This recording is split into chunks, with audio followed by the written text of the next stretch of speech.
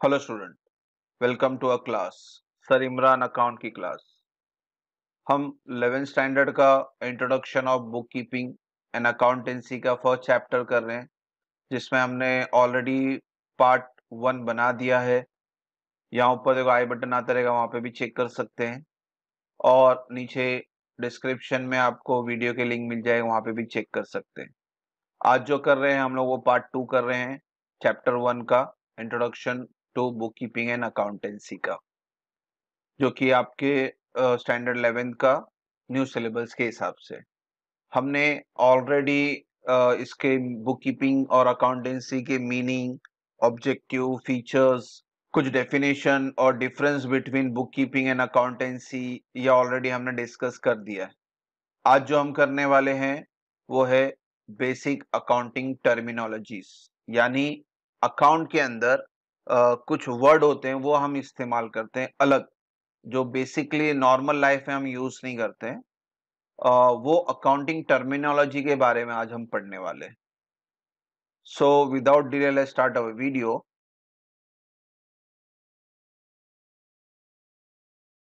बिस्मिल्लाहिर्रहमानिर्रहीम। So, in order to have a better understanding of accounting, it is necessary to know the meaning of certain basic terms used in accounting. तो business को या account को अच्छी तरह से समझने के लिए कुछ बेसिक टर्म्स है जो आपको अकाउंट के अंदर इस्तेमाल करने हैं जब हम नॉर्मल प्रैक्टिकल सम करने जाएँगे इसका अभी तो हम थियरी कर रहे हैं जब हम प्रैक्टिकल सम करने जाएँगे तो हमें देखना है कि कुछ अकाउंटिंग वर्ड शब्दों का इस्तेमाल करना है हमें। तो उसके बारे में हम पढ़ने वाले आज। तो पहला देख लेते हैं ट्रांजेक्शन ट्रांजेक्शन क्या है? Exchange of goods and service between two person for money और मनीज वर्थ इसे हम ट्रांजेक्शन कहते हैं। तो पहला ही वर्ड है एक्सचेंज यानी लेना और देना। क्या ले रहे हैं, क्या दे रहे हैं? गुड्स एंड सर्विसेज़ गुड्स यानी कमोडिटी बोल सकते हैं आर्टिकल बोल सकते हैं, वस्तु बोल सकते हैं, चीज़ बोल सकते हैं। वो चीज़ आप एक्सचेंज करते हो। और सर्विस भी। सर्विस फॉर एग्जांपल बैंक आप बैंक में जाओगे तो बैंक आपको क्या प्रोवाइड करता है बच्चों? सर्विस प्रोवाइड करता है। होटल जाओ तो होटल में आपको क्या मिलती है? सर्विस मिलती है, खाना मिलता है, वहाँ रह सकते हैं आप। ठीक है? आप एरोप्लेन में जाओ तो एरोप्लेन वाले क्या देते हैं? आपको सर्विस देते हैं। तो उसके बदले में पैसा लेते हैं ना बच्चों? तो exchange of goods and service between two person for money या मनी इज़ वर्थ तो यहाँ पे हम एक्सचेंज कर रहे हैं गुड्स और सर्विस और इसके और दो बंदों के बीच में होगा मिनिमम पैसा या money is worth equal to cash बोल सकते हैं हम लोग। मनी और मनी इज़ वर्थ मतलब पैसा या पैसे के इक्वल चेक बोल दो क्रेडिट कार्ड बोल दो डेबिट कार्ड बोल दो that is your money is worth तो ये चीज़ को हम बोलते हैं ट्रांजेक्शन यानी exchange of goods and service between two और मोर पर्सन फॉर मनीज और मनीज वर्थ ये हमारा ट्रांजेक्शन है। अब टाइप्स ऑफ़ ट्रांजेक्शन देखते हैं। तो टाइप्स ऑफ़ ट्रांजेक्शन में पहला टाइप है मॉनिटरी ट्रांजेक्शन जिसे हम कैश ट्रांजेक्शन बोलते हैं, और दूसरा टाइप है आपका नॉन मॉनिटरी ट्रांजेक्शन जहाँ पे कैश इन्वॉल्व नहीं है। मॉनिटरी ट्रांजेक्शन के अंदर भी दो टाइप है, एक है कैश ट्रांजेक्शन और एक है क्रेडिट ट्रांजेक्शन यानी बात तो पैसे की हो रही है, मगर जब तुरंत पेमेंट आता है, उसे हम कैश ट्रांजेक्शन बोलते हैं, और पेमेंट बाद में आता है तो हम उससे क्या बोलते हैं क्रेडिट ट्रांजेक्शन यानी उधार पे लिया सामान उसने। ठीक है उधार पे लिया मगर पैसा आज नहीं कल तो देने वाला है वो। तो यानी ये पैसे से रिलेटेड है इसलिए हम इसे मॉनिटरी ट्रांजेक्शन कहते हैं। और दूसरा है नॉन मॉनिटरी ट्रांजेक्शन जहाँ पे पैसा इन्वॉल्व भी नहीं है। आप पैसे की बात ही नहीं कर सकते। जैसे फॉर एग्ज़ाम्पल बाटर ट्रांजेक्शन ये पुराने जमाने में चलता था। आ, आपके पास चावल है और सामने वाले के पास गेहूँ है तो आप चावल उसको देंगे थोड़ा और थोड़ा उससे गेहूँ ले लेंगे। इसे हम बाटर ट्रांजेक्शन कहते हैं। When goods are exchanged for goods is called as barter transaction. Or when goods and service are exchanged for money or money is worth, तुरंत आया तो कैश ट्रांजेक्शन पैसा बाद में आया तो क्रेडिट ट्रांजेक्शन ठीक है? तो ये तीन तरह का ट्रांजेक्शन है, जिसमें बाटर ट्रांजेक्शन पुराने जमाने में अभी नहीं चलता है तो इसे हम अकाउंटेंसी में इस्तेमाल नहीं करते। हम अकाउंटेंसी में दो ही ट्रांजेक्शन इस्तेमाल करेंगे कैश ट्रांजेक्शन और क्रेडिट ट्रांजेक्शन ठीक है बच्चों? अब आगे चलते हैं। दूसरा अकाउंटिंग टर्मिनोलॉजी जो बेसिकली यूज़ होता है, वो है गुड्स गुड्स क्या है? गुड्स एक कमोडिटी है आर्टिकल है और थिंग्स है. In which trader trades commodity यानी चीज़, वस्तु, जिसमें बिजनेसमैन ट्रेडर यानी बिजनेसमैन डील्स ट्रेड करना यानी डील करना परचेज एंड सेल्स करना, उसे हम गुड्स कहते हैं. जैसे एक सोनार है, सोनार के पास क्या होगा? गुड्स गोल्ड होगा. तो गोल्ड स्मिथ के लिए गुड्स क्या हो गया? गोल्ड हो गया। और दूसरा एग्ज़ाम्पल क्लोथ मर्चेंट है। क्लोथ मर्चेंट के लिए गुड्स क्या हो गया? क्लोथ हो गया। तो जो बंदा जिसमें डील करता है, उस चीज़ को वो गुड्स बोलेगा। हर कोई गुड्स नहीं बोल सकता। बिजनेसमैन जिसमें वो डील करता है वो उसी के लिए गुड्स है। बाकी सबके लिए गुड्स नहीं है वो। अभी मेरी कार की फैक्ट्री है। तो कार में प्रोड्यूस कर रहा हूँ। कार में प्रोड्यूस क्यों कर रहा हूँ? उसको बेचना है। तो वो मेरे लिए गुड्स हो गया। बाकी सब लोग कार ही बोलेंगे, मगर मैं क्या बोलूँगा? मेरे लिए गुड्स है, क्योंकि मैं इसको बना रहा हूँ और बेच रहा हूँ। तो ट्रेडर ट्रेस करता है, जिसमें डील करता है, वो कमोडिटी वो आर्टिकल उसे हम क्या कहेंगे? गुड्स कहेंगे। अब टाइप्स ऑफ़ गुड्स देख लेते हैं। ये आपके सिलेबस में नहीं है, मगर आपके नॉलेज के लिए आप समझे इसको। There are six type of goods पहला है ओपनिंग स्टॉक जो स्टॉक जो गुड्स जब आप साल शुरू करते हो, उस वक्त अवेलेबल रहता है, उसे हम ओपनिंग स्टॉक कहते हैं। फिर साल के एंड में जो गुड्स बिकता नहीं है अनसोल्ड रह जाता है, क्योंकि साल का एंड का दिन है और माल बिका नहीं तो उसे हम क्या कहेंगे? क्लोजिंग स्टॉक कहेंगे। फिर तीसरा है परचेज आप जब गुड्स परचेज करते हो ऑब्वियसली आप मैन्युफैक्चरर है तो बिजनेसमैन हमेशा रॉ मटेरियल परचेज करता है, यानी कच्चा माल खरीदता है। जैसे आपकी फैक्ट्री शुगर की है तो आप क्या खरीदोगे? शुगर केन तो शुगर केन आपके लिए रॉ मटेरियल है तो ये आप परचेस करोगे। ये भी एक तरह टाइप्स ऑफ़ गुड्स है।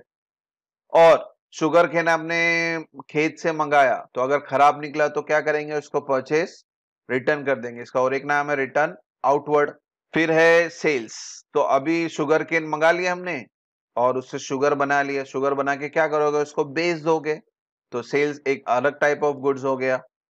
फिर सिक्स है। शुगर आपने बेचा तो ऑब्वियसली सारे शुगर थोड़े बहुत खराब हो गए।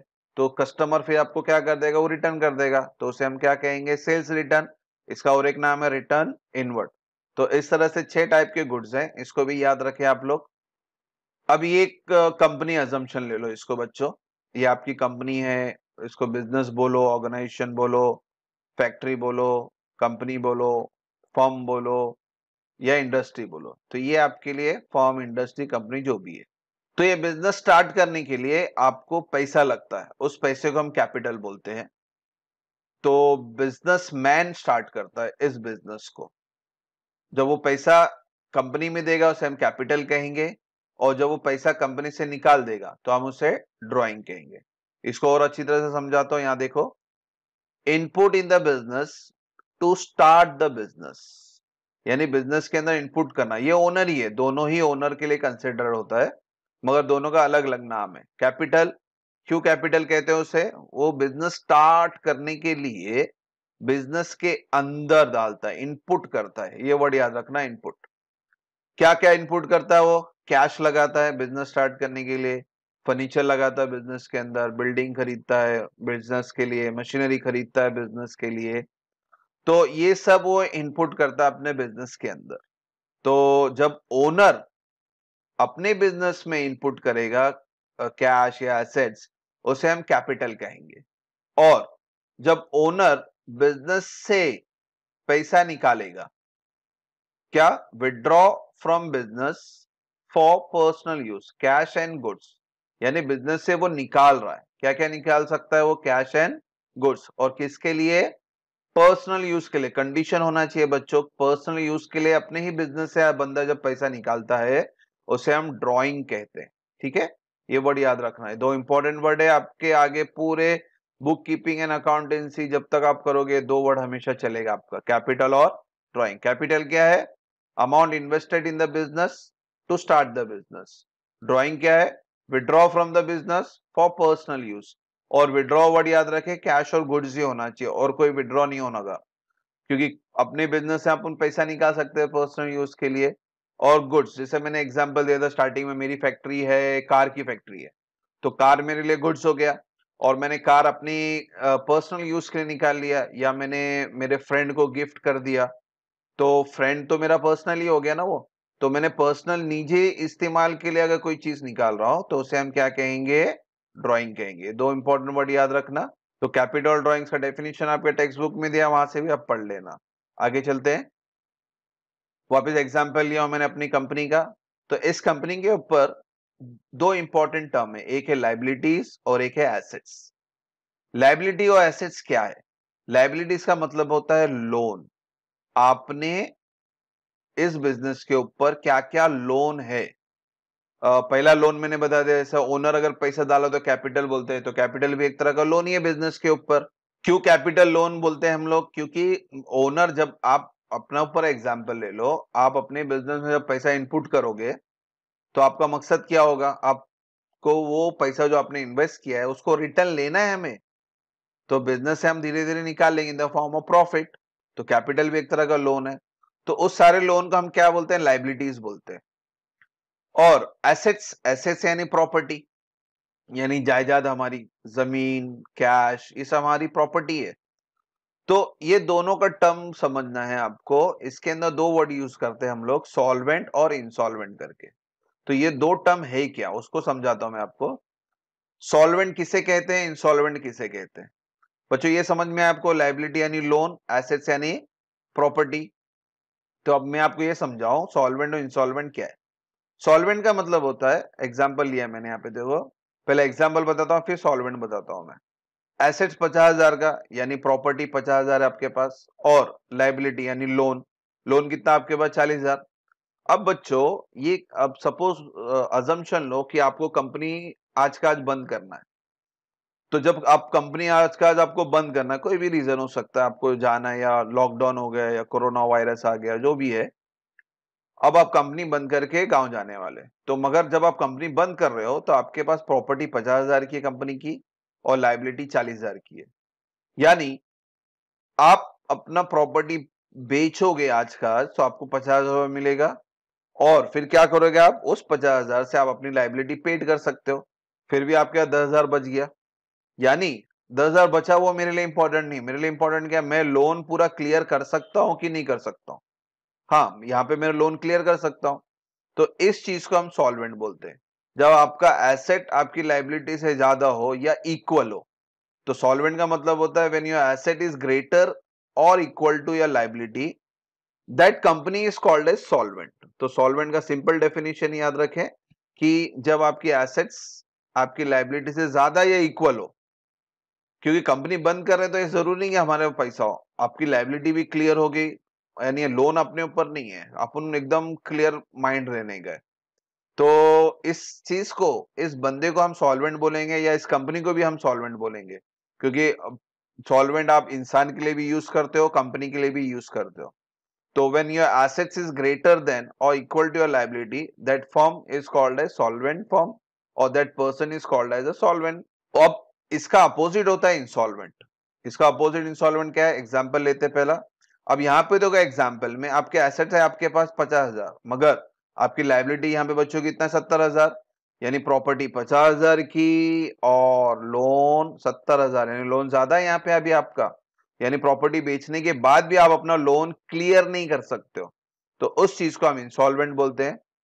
When your liability is greater than asset then insolvent आप उस चीज़ को हम क्या बोलेंगे? इंसॉल्वेंट ठीक है? लाइबिलिटी जब एसेट से ज़्यादा होती है तो वो कंपनी को हम क्या बोलते हैं? इंसॉल्वेंट कंपनी या पर्सन को बोलेंगे तो इंसॉल्वेंट पर्सन बोलेंगे। तो ये दो वर्ड आपके डेफिनेशन है, आपके टेक्स्ट बुक आप पढ़ लें इसका डेफिनेशन एग्ज़ाम्पल मैंने समझा दिया। सॉल्वेंट यानी आपका एसेट्स इक्वल और ग्रेटर टू लाइबिलिटी होना चाहिए। या और इंसॉल्वेंट में क्या होगा आपका? Liability greater than your assets ठीक है बच्चों? अब आगे चलते हैं। वापिस से मैंने एग्ज़ाम्पल लिया कंपनी का।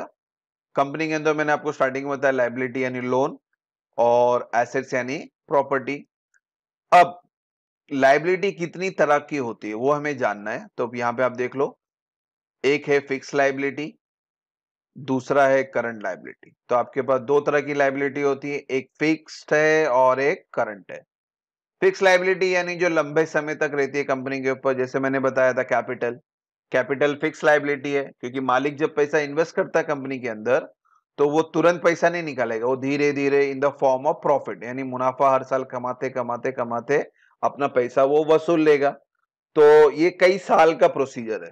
तो कंपनी धीरे धीरे करके इसको पैसा देने वाली है है ना?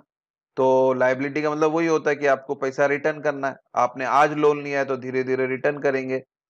और कई लंबे समय तक चलेगा, कई साल तक चलेगा तो उसे हम क्या बोलेंगे? फिक्स लाइबिलिटी एग्ज़ाम्पल दिया मैंने कैपिटल और एक एग्ज़ाम्पल दे दू फिक्स लाइबिलिटी का लोन जैसे आप बैंक लोन वगैरह लेते हैं, आपके घर में हाउसिंग लोन वगैरह लिया होगा तो हाउसिंग लोन तो एक दिन में रीपेड नहीं होता बीस साल, पच्चीस साल, पंद्रह साल, कई साल तक चलता है। तो इसको भी हम क्या बोलेंगे? फिक्स लाइबिलिटी फिर बात करते हैं करंट लाइबिलिटी की। करंट लाइबिलिटी यानी शॉर्ट टर्म लाइबिलिटी जो एक साल से कम हो। फिक्स लाइबिलिटी एक साल से ज़्यादा चले। करंट लाइबिलिटी एक साल के अंदर अंदर आपको इसको रीपेमेंट करना है।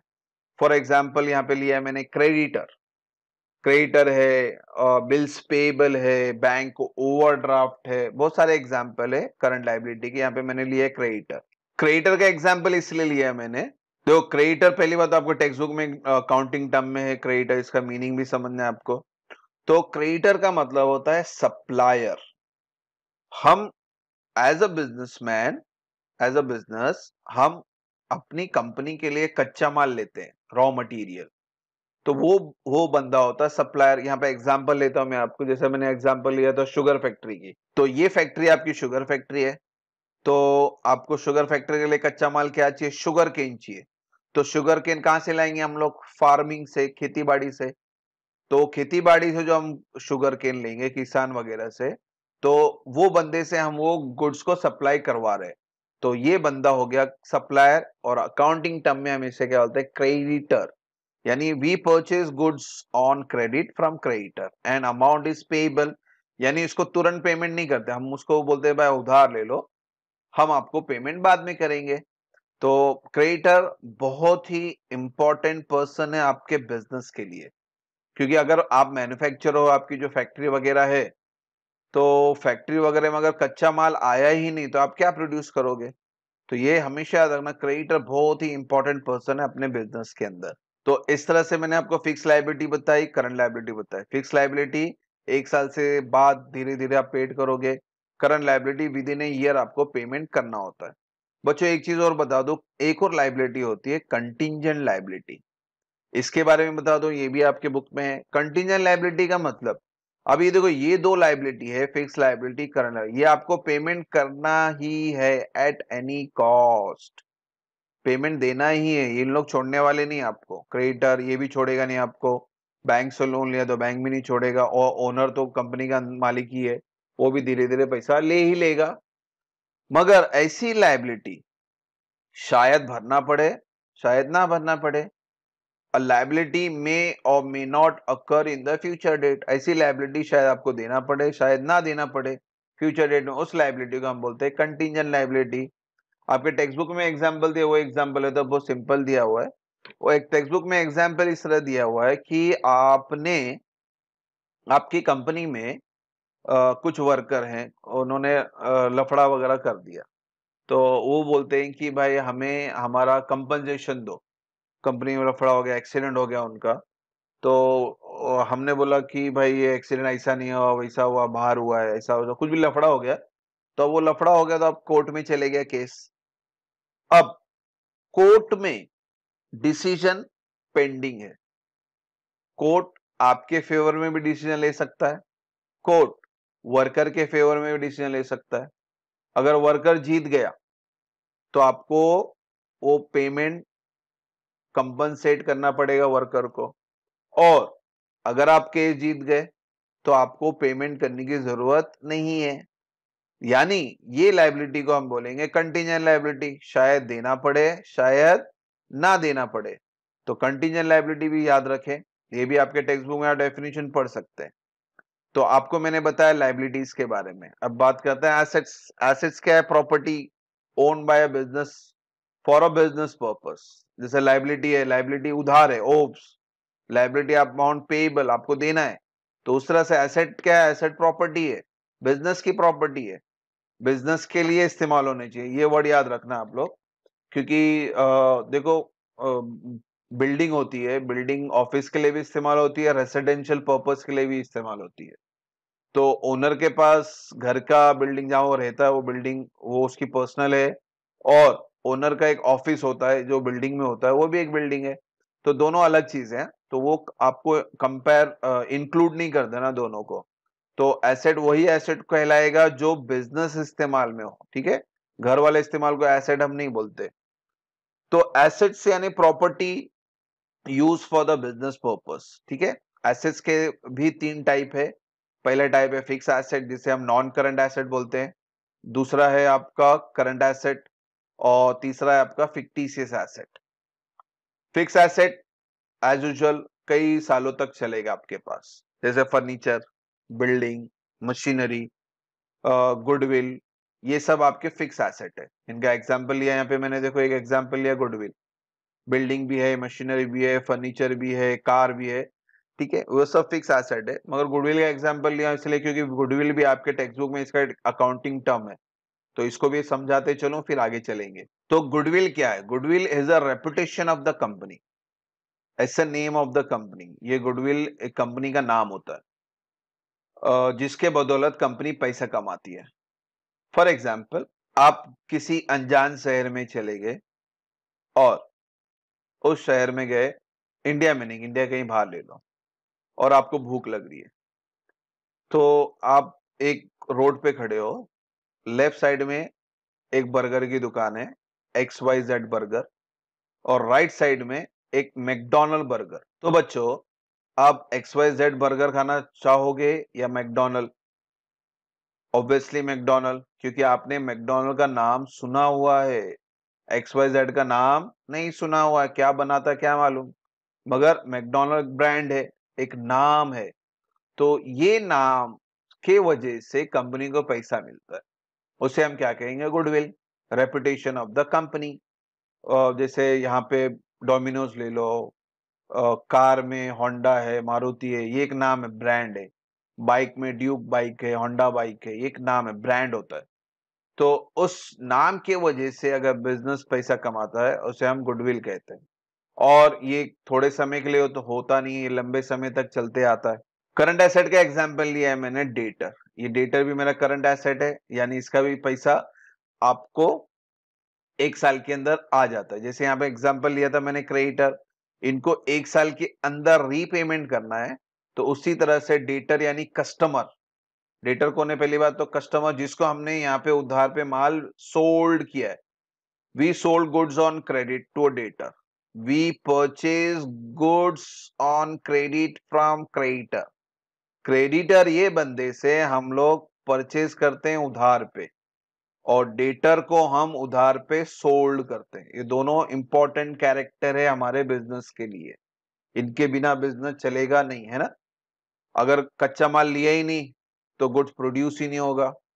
ठीक है गुड्स प्रोड्यूस कर लिए और कस्टमर ही नहीं रहा तो किसको बेचोगे? तो ये दो बहुत इंपॉर्टेंट है क्रेडिटर और डेटर ठीक है? तो डेटर करंट एसेट है, क्यों? क्योंकि हम डेटर को जब उधार देते हैं तो इसको जो टाइम पीरियड देते हैं, वो एक साल के अंदर का ही देते हैं। एक साल से ज़्यादा का टाइम पीरियड नहीं दिया जाता डेटर को। तो एक साल के अंदर अंदर आपको डेटर से पैसा वसूल लेना है। फिर है फिक्टिशियस एसेट ये एक बोगस एसेट होता है। एसेट के नाम पे ये एक्सपेंडिचर होता है बिज़नेस का, जो आप इसको फिक्टिशियस एसेट बोलते हैं। ये बहुत रेयर एंट्री है, इसके बारे में ज़्यादा डिस्कस नहीं करेंगे। मैं आता हूँ फिर से डेटर के ऊपर। डेटर से रिलेटेड एक और एंट्री आपके टेक्स्ट बुक में।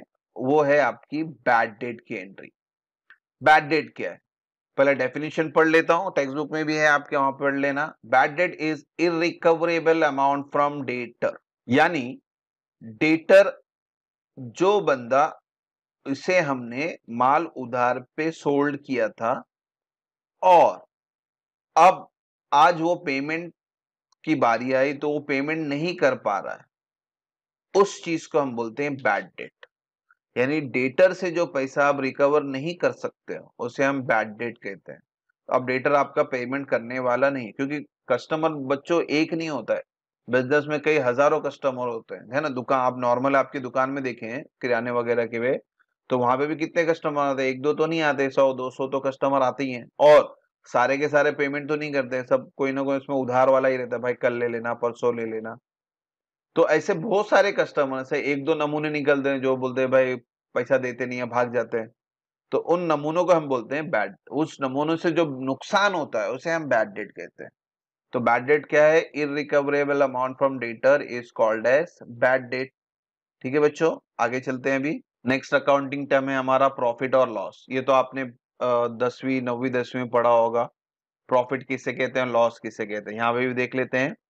प्रॉफिट का मतलब है when your selling price is greater than your cost price it called as profit example लिया देखो मैंने सेलिंग प्राइस यानी आप सौ रुपए में माल बेच रहे हो, और उसको बनाने का खर्चा आया साठ रुपया, यानी चालीस रुपए का क्या होगा प्रॉफिट और लॉस में क्या हो जाएगा? उल्टा हो जाएगा। Cost price is greater than selling price यानी बनाने का खर्चा सेलिंग प्राइस से ज़्यादा है। यहाँ पे एग्ज़ाम्पल लिया मैंने, देखो कॉस्ट प्राइस यानी बनाने का खर्चा 200 हुआ।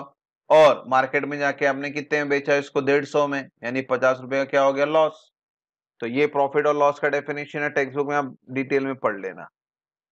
फिर इसी के अंदर इनकम है अकाउंटिंग टर्म इनकम क्या है? अमाउंट रिसीव्ड और receivable from services provided and received interest dividend commission etcetera amount received और रिसीवेबल यानी मिल गया या मिलने वाला पैसा? किस चीज़ का? जो आपने सर्विस प्रोवाइड की है, आपने गुड्स वगैरह बेचा होगा, आपने जैसा होटल है तो होटल में आपने सर्विस प्रोवाइड की होगी, खाना दिया होगा तो कस्टमर आपको पैसा देने वाला है या दे दिया? और हमने बैंक में पैसा रखा तो उसका इंटरेस्ट मिला, हमने शेयर खरीदा तो उसका डिविडेंड मिला, हमने माल बेचा तो उसका कमीशन मिला तो इसे हम क्या कहेंगे? इनकम कहेंगे। और फिर रेवेन्यू है रेवेन्यू का मतलब income received from sale of goods and service to customer देखो रेवेन्यू और इनकम में दो फ़र्क है। इनकम आपको कहीं से भी पैसा आएगा। ब्याज में बैंक में रखा पैसा वहाँ से आ सकता है। आप सर्विस प्रोवाइड करेंगे, उससे आ सकता है। आपने शेयर खरीदा डिविडेंड से पैसा आ सकता है। कहीं से भी आ सकता है। मगर रेवेन्यू यानी आपने गुड्स सोल्ड किया या सर्विस प्रोवाइड की कस्टमर को। जो आपका नॉर्मल कस्टमर है, उससे जो पैसा आता है, उसे हम रेवेन्यू करते हैं। यानी हम ये पैसा कमा रहे हैं। और इनकम तो आप कहीं से भी जनरेट कर सकते हो। बैंक में पैसा रख के शेयर खरीद करके। ठीक है बच्चों? ये हो गया इनकम और ये है रेवेन्यू अब चलते हैं अगला अकाउंटिंग टर्म के लिए, जो कि है डिस्काउंट ये भी आपके टेक्स्ट बुक में दिया हुआ है। डिस्काउंट का मतलब है कंसेशन और allowance given by the seller to purchaser purchaser यानी कस्टमर तो दुकानदार कस्टमर को डिस्कंसेशन देता है, छूट देता है, माफ़ करता है अलावेंस देता है। तो जैसे सौ रुपए की चीज़ है तो कस्टमर उसको नब्बे रुपए में बेच दिया। तो वो दस रुपए क्या है? उस दस रुपए का हम डिस्काउंट कहते हैं। तो दस रुपए कम हो गया ना तो सेलर के लिए नुकसान और कस्टमर के लिए फ़ायदा। तो इस चीज़ को हम डिस्काउंट बोलते हैं। अब बच्चों डिस्काउंट भी दो तरह के होते हैं। पहला डिस्काउंट है trade discount it is the allowance given on catalogue price और लिस्ट प्राइस जो स्टार्टिंग में कंपनी में जब माल बनता है, उस वक्त एक भाव तय किया जाता है। उसे हम कैटलॉग प्राइस बोलते हैं या लिस्ट प्राइस बोलते हैं। जब ये फैक्ट्री में एकदम स्टार्टिंग स्टेज में जब वो प्रोडक्ट होता है, उस प्राइस को हम कैटलॉग प्राइस या लिस्ट प्राइस बोलते हैं। उस चीज़ पे, जब डिस्काउंट अलावेंस होता है, उस चीज़ को हम ट्रेड डिस्काउंट बोलते हैं। और ये बेसिकली अगर सम, समझने के लिए आपको अगर आपको एक चेन बताता हूँ मैं गुड्स का एक चेन होता है। गुड्स मैन्युफैक्चरर से होलसेलर के पास जाता है। होलसेलर से रिटेलर के पास जाता है। रिटेलर से फिर कस्टमर के पास जाता है। तो ये चेन के अंदर जो स्टार्टिंग चेन है हमारा मैन्युफैक्चरर एंड होलसेलर हम इसको एक ही बोलते हैं। तो मैन्युफैक्चरर या होलसेलर से जब माल रिटेलर के पास आता है उस वक्त ट्रेड डिस्काउंट दिया जाता है। क्योंकि रिटेलर खुद अब इस्तेमाल नहीं करने वाला रिटेलर आगे बेचने वाला है। तो उस वक्त जो डिस्काउंट दिया था, उसे हम ट्रेड डिस्काउंट कहते हैं। और सबसे इंपॉर्टेंट चीज़ है आपकी बुक कीपिंग में यह याद रखना, ये पॉइंट है। क्या पॉइंट है वो? Trade discount does not appear in the books of account आप अपने बुक्स ऑफ़ अकाउंट में कैलकुलेट तो करेंगे ट्रेड डिस्काउंट मगर इसको कहीं भी भी लिखते ही नहीं हम लोग। ये बहुत इंपॉर्टेंट पॉइंट है हमेशा याद रखना इस सम के टाइम भी मैं आपसे पूछूँगा। तो trade discount never appear in the books of account ये वर्ड याद रखना। और ट्रेड डिस्काउंट कैटलॉग प्राइस या लिस्ट प्राइस पे दिया जाता है, यानी मैन्युफैक्चरर या होलसेलर जब रिटेलर को माल बेचता है, उस वक्त जो डिस्काउंट होता है, उसे हम ट्रेड डिस्काउंट कहते हैं। फिर दूसरा है हमारा cash discount it is allowance given for the spot payment अब अब इसको समझो रिटेलर से माल अब कस्टमर के पास जा रहा है। तो अब किराने वाला नॉर्मल लोकल एरिया को माल बेच रहा है लोकल पब्लिक को माल बेच रहा है तो लोकल पब्लिक से वो चाहता है कि भाई तुरंत पेमेंट मिल जावे स्पॉट पेमेंट मिल जावे तो बंदा स्पॉट पेमेंट देगा भी, क्यों देगा भाई? आजकल कस्टमर भी शाणे हो गए तो कस्टमर बोलता है, ठीक है, मैं दूँगा अभी तुरंत पैसा, मगर मैं इतना नहीं, इतना दूँगा, कम करके दूँगा। तो उस चीज़ के लिए वो डिस्काउंट को हम बोलते हैं कैश डिस्काउंट यानी तुरंत पेमेंट हो रहा है, तुरंत वहाँ पे डिस्काउंट दिया जा रहा है। अब important cheese cash discount appear in the books of account आपको कैश डिस्काउंट ही लिखना होता है बुक्स ऑफ़ अकाउंट में। जब आप रिकॉर्ड करोगे तो आप सिर्फ़ कैश डिस्काउंट रिकॉर्ड करोगे? ट्रेड डिस्काउंट रिकॉर्ड नहीं करोगे, ठीक है? बच्चों रिकॉर्ड अलग चीज़ है कैलकुलेशन अलग चीज़ है। कैलकुलेट होगा, दोनों ही डिस्काउंट कैलकुलेट होगा। मगर रिकॉर्ड कौन सा होगा? सिर्फ़ और सिर्फ़ क्या डिस्काउंट ट्रेड डिस्काउंट रिकॉर्ड नहीं होगा। ठीक है? आगे चलते हैं। अब अगला अकाउंटिंग टर्म देखते हैं एक्सपेंडिचर एक्सपेंडिचर क्या है? An amount spend by business for any consideration received by business यानी आपने कुछ भी चीज़ का इस्तेमाल किया। कंसिडरेशन यानी आपको कुछ भी कंसिडरेशन मिला। इसका एग्जांपल समझाता हूँ मैं। जैसे आपके यहाँ कोई आके काम किया तो आपकी कंपनी में काम कर रहा है, आपको कंसिडरेशन मिल रहा है। तो उसके बदले में उसको क्या देंगे? आप सैलरी देंगे वेजेस देंगे, पगार देंगे। तो आपको कंसिडरेशन मिला कि वो बंदा आपके पास काम आया तो उसके बदले में फिर आपको क्या देना पड़ेगा? उसको सैलरी देनी पड़ेगी। तो सैलरी आपके लिए क्या एक्सपेंडिचर है? दूसरा एग्ज़ाम्पल बताता हूँ मैं। जैसे आप रिक्शे में कहीं से ट्रांस ट्रैवल करके यहाँ पे आए, एक जगह पे आए तो रिक्शा वाला आपसे क्या लेगा? भाड़ा लेगा, है ना? वो आपके लिए एक्सपेंडिचर है, क्योंकि वो आपको उसके कंसिडरेशन मिला कि वो रिक्शा वाले ने आपको यहाँ छोड़ के दिया है। तो उसके बदले आपको रिक्शे का भाड़ा देना है। और भाड़ा दे रहे हो यानी आपके लिए क्या हो गया? एक्सपेंडिचर हो गया। तो an amount spend by business for any consideration received by the business तो बिज़नेस को जो भी कंसिडरेशन मिले, जैसे आप इलेक्ट्रिसिटी पावर इस्तेमाल करते हो तो वो कंसिडरेशन मिल रहा है आपको। ठीक है? तो उसके बदले में आपको लाइट बिल भरना पड़ेगा। तो वो हमारे लिए क्या एक्सपेंडिचर है? अब एक्सपेंडिचर के टाइप्स क्या है? तीन तरह के टाइप्स हैं। पहला टाइप देख लेते हैं। पहला है कैपिटल एक्सपेंडिचर ये एक्सपेंडिचर आप वन टाइम करते हो। यानी पूरे बिज़नेस में ये एक ही बार होता है, इसके ऊपर एक्सपेंडिचर तो वन टाइम एक्सपेंडिचर बोले तो परचेज ऑफ़ फिक्स एसेट है ना? अभी आप लोग के घर में, या आपका खुद का एक घर हो तो आप खुद का घर कितनी बार एक ही बार खरीदोगे ना? बार बार तो नहीं खरीदोगे। या फॉर एग्ज़ाम्पल आपके घर में एक कबर्ट है, या पलंग है, या टीवी है तो ये तो रोज तो खरीदने वाली चीज़ नहीं है, ये एक ही टाइम खरीदी जाती है। तो बिज़नेस के अंदर फिक्स एसेट होता है। Land building machinery furniture car ये वन टाइम एक्सपेंडिचर घड़ी घड़ी नहीं होता है। और इसके ऊपर जो बेनिफिट मिलता है, वो लॉन्ग पीरियड तक मिलता है। है ना? आपने एक बार मशीन खरीद ली, आप उससे गुड्स प्रोड्यूस करते रहो। साल, दो साल, तीन साल, दस साल। तो इसका बेनिफिट आपको लंबे समय तक मिलता है। A more than one year it is consider as a long period तो एक साल से ज़्यादा है तो आप कंसिडर कर लो लॉन्ग पीरियड के लिए। Example building furniture machinery etcetera तो इसे हम क्या बोलेंगे? कैपिटल एक्सपेंडिचर दूसरा है आपका रेवेन्यू एक्सपेंडिचर ये रेगुलर एक्सपेंस है। यानी हर महीने होता है। हर महीने सैलरी दो, हर महीने रेंट भरो, हर महीने लाइट बिल भरो। ठीक है? तो ये रेगुलर एक्सपेंडिचर है हमारा। Normal day to day operating expense आपका day to day operating expense के लिए आपको बिज़नेस का ये खर्चा देना ही है। पगार देनी है तो बिज़नेस चलेगा, है ना? हर महीने देना आपको डे टू डे यानी हर महीने की बात कर रहा हो।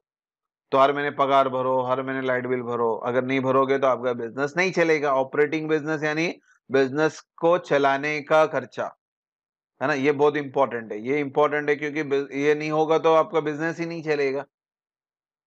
बेनिफिट फॉर शॉर्ट पीरियड और हम एक्सपेंडिचर हर महीने भर रहे हो तो बेनिफिट भी हर महीने का होगा। जैसे फिक्स एसेट में मैंने क्या बोला था लॉन्ग पीरियड बेनिफिट हर साल मुनाफा मिलते रहेगा। मगर इसका बेनिफिट एक्सपेंस छोटा है तो बेनिफिट भी छोटा होगा। एग्ज़ाम्पल रेंट है सैलरी है इलेक्ट्रिसिटी बिल है। Third example deferred revenue expenditure basically revenue nature revenue nature यानी छोटा खर्चा। है benefit for three to four year अब इसका बेनिफिट एक साल नहीं, तीन से चार साल तक चलता है। लंबे समय तक नहीं चलता है, दो या तीन साल या चार साल तक चलेगा। तो उसे हम डिफर्ड रेवेन्यू एक्सपेंडिचर बोलेंगे। एग्ज़ाम्पल लिया मैंने एडवर्टीजमेंट रिसर्च इसको जरा अच्छे से समझा दो मैं। हम कोई भी चीज़ का आप लोग नॉर्मली अगर आप टीवी पे कोई एड वगैरह देखते हो तो उस एड का इम्पैक्ट आपके दिमाग पर साल, दो साल ही रहता है। इसका बेस्ट एग्ज़ाम्पल बता रहा हूँ डिफर्ड का मैं एडवर्टीजमेंट का इम्पैक्ट आपके दिमाग में दे, दे दो साल तीन साल तक ही रहता है उसके बाद नहीं चलता फिर आप वो प्रोडक्ट को भूल जाते हो। तो यानी कंपनी को उसका फ़ायदा उस एडवर्टीजमेंट का फ़ायदा दो से तीन साल ही होगा उससे ज़्यादा नहीं होगा है ना? एडवर्टाइजमेंट छोटा ही खर्चा होता है ज़्यादा बड़ा खर्चा नहीं होता इसलिए इसको रेवेन्यू कहा गया। मगर इसका बेनिफिट दो तीन साल तक रहेगा। देखा नया नया प्रोडक्ट आता रहता जैसा ड्यूक बाइक आई थी पहले। तो ड्यूक बाइक का क्रेज चला। फिर एफ़ जेड फिर बजाज टू हंड्रेड पल्सर तो वो क्रेज चलता है और उनका डिमांड पर्टिकुलर पीरियड में रहता है। दो साल, तीन साल। जैसे जैसे एडवर्टाइजमेंट का वो इम्पैक्ट खत्म होता है तो वो प्रोडक्ट भी सोल्ड करना बंद हो जाता है। दूसरा बेस्ट एग्ज़ाम्पल ले लो मोबाइल का। अभी एप्पल मोबाइल ले लो। एप्पल मोबाइल देखो, पहले क्या हर साल वो एक नया प्रोडक्ट लॉन्च करता है तो पुराना प्रोडक्ट भूल जाती पब्लिक तो ये एडवर्टाइजमेंट एग्ज़ाम्पल है डिफर्ड रेवेन्यू एक्सपेंस यहाँ पे और एग्ज़ाम्पल लिया मैंने रिसर्च आप कोई भी नया प्रोडक्ट जो लॉन्च करते हो, जैसा अभी लेस की बात करते हैं. लेस हमारे टाइम पे होता था नॉर्मल लेस ही होता था. मगर आज के टाइम पे लेस लेस नहीं रहा.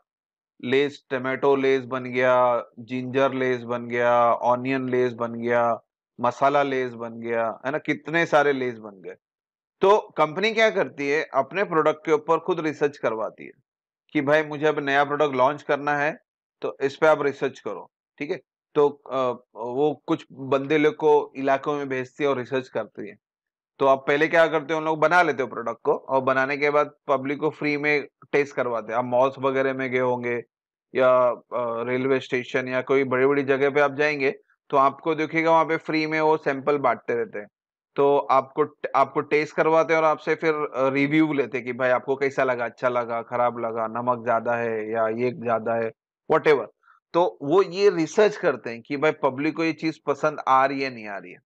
तो एक बार रिसर्च हो गया तो फिर वो प्रोडक्ट वो लॉन्च कर देते हैं। अब वो रिसर्च दोबारा नहीं होगा उस प्रोडक्ट पे। एक बार हो गया, खत्म। तो यानी रेवेन्यू नहीं चाहिए, एक ही बार करना है। और उसका बेनिफिट अब वो रिसर्च का प्रोडक्ट दो साल, तीन साल ही चलेगा। क्योंकि अब नया प्रोडक्ट फिर लॉन्च करना पड़ेगा आपको।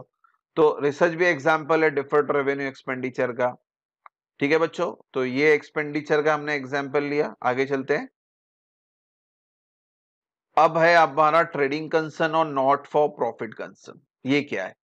ट्रेडिंग कंसर्न का मतलब होता है जो कंपनी ट्रेडिंग कंसर्न यानी कंपनी जो कंपनी को मुनाफा चाहिए प्रॉफिट कमाना है अर्निंग अ प्रॉफिट उसे हम ट्रेडिंग कंसर्न कहते हैं। यानी उनका इंटेंशन सिर्फ़ पैसा कमाना है और उससे और बाकी चीज़ से लेना देना नहीं है।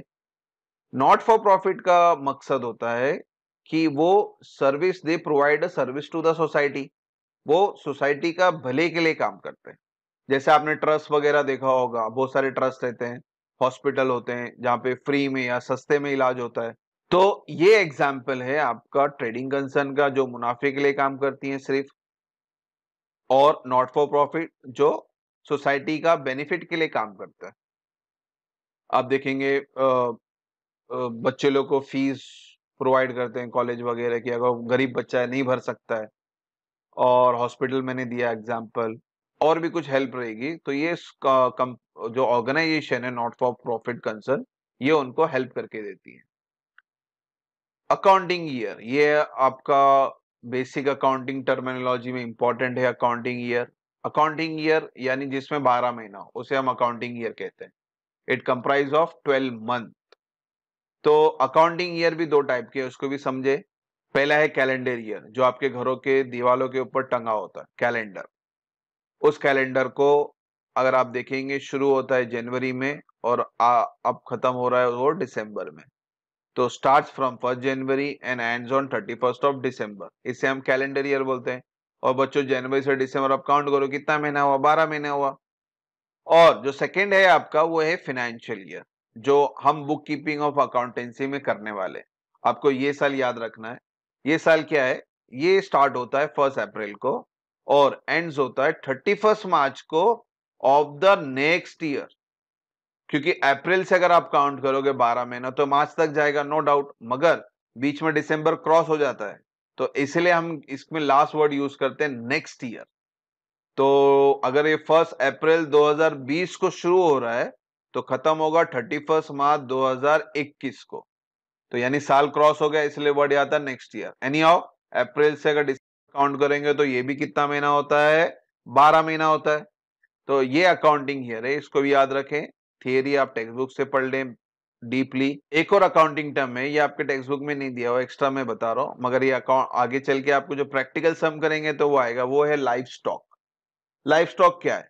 Animal which are use in the business it is called as a life stock example ले लेते हैं dog goat cow etcetera dog यानी वॉच डॉग वॉचमैन होता है जैसे, वैसे वॉच डॉग होता है। आपकी फैक्ट्री वगैरह में चोरी वगैरह ना हो तो इसलिए हम ये कुत्ते वगैरह पालते हैं। तो ये बिज़नेस के इस्तेमाल हो रहे हैं। गोट वगैरह है, गोट वगैरह से हम लोग मिल्क वगैरह निकालते हैं। वो मिल्क हम यूज़ करते हैं बिज़नेस के लिए। काव है काव से भी हम मिल्क वगैरह निकालते हैं। कैमल होता है, ट्रैवलिंग के लिए। तो जो भी जानवरों का इस्तेमाल करते हैं हम लोग बिज़नेस में, उन जानवरों को हम बोलते हैं लाइव स्टॉक ठीक है? ये वर्ड याद रखना, एल आई वी ई। यहाँ पे बहुत से जन एल आई एफ़ ई लिख देते हैं लाइव स्टॉक लिख देते जो कि रॉन्ग हो जाएगा। इंपॉर्टेंट है लाइव स्टॉक ठीक है? तो इस तरह से हमने सारे अकाउंटिंग टर्म खत्म किए। So thank you for watching the video इनशाला नेक्स्ट वीडियो से हम लोग हमारा सेकेंड चैप्टर बनाएँगे। होप सो यहाँ तक कोई डाउट ना हो। Thank you thank you for watching the video God bless you